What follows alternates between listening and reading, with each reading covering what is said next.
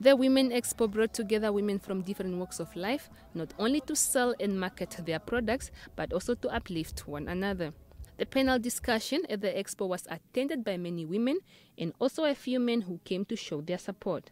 Panelist and businesswoman Topewa Kadhikwa wants women to push themselves to the core to become successful. I don't see any reason why you guys can't be successful. Um, you must prove it to me. I don't see any reason. You must tell me exactly what is keeping you from being not only successful but abundantly successful. It can only be skills or your attitude, nothing else. Also speaking was the Queen of Speech, Josingi Pandwa. It's not about your gender. Greatness is greatness.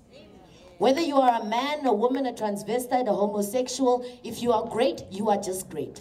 I know my worth. I know my value. I know that I am a damn magnificent speaker. And whether I'm speaking in front of men or women, nobody can ever intimidate me into not understanding that. Musician Monica Pinias, well known as Top Cherry, was on the panel. People come from their houses, huh?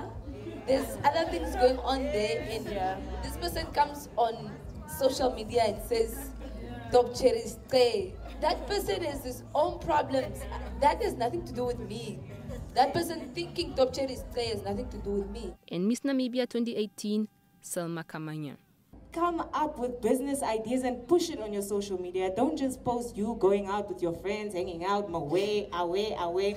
You know what I'm saying? Use it to build yourself. Topics discussed included the meaning of women's success, defending womanhood, and the importance of bonding.